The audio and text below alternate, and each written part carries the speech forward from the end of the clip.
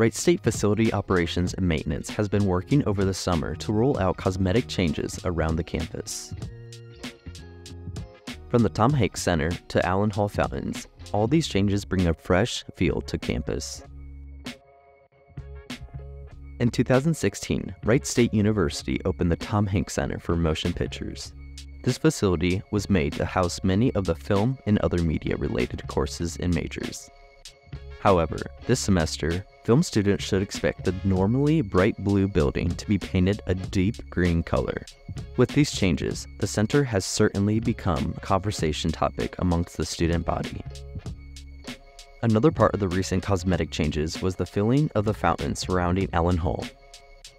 Allyn Hall houses the College of Liberal Arts and is home to the Hangar, a dining hall on campus. The hangar is surrounded by fountains, which have been drained and barren for years. Over the summer, the fountain was painted bright green and filled with crystal clear water. There are several other small changes that have been made around campus.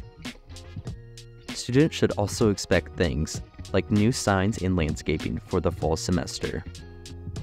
The Facilities Operation and Maintenance Department has really been working hard to make WSU the right home for future Raiders. For more information, visit our website at wsuguardian.com.